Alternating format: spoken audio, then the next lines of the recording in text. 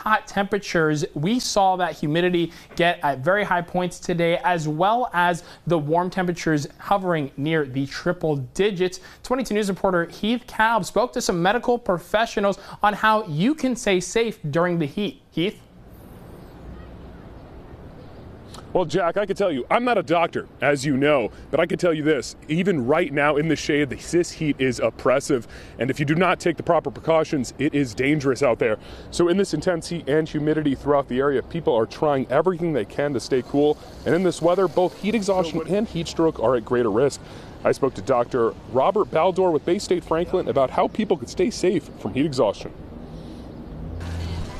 really the, the best advice is limit your strenuous activities, stay well hydrated, take frequent cooling breaks, avoid the hot sun, and uh, really uh, uh, be careful with your activity.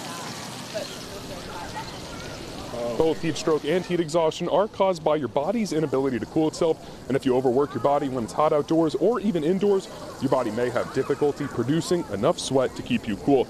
Now, a spokesperson for Baystate Medical Center did tell me today that they have seen an influx in more people going into their emergency rooms because of this heat the past few days.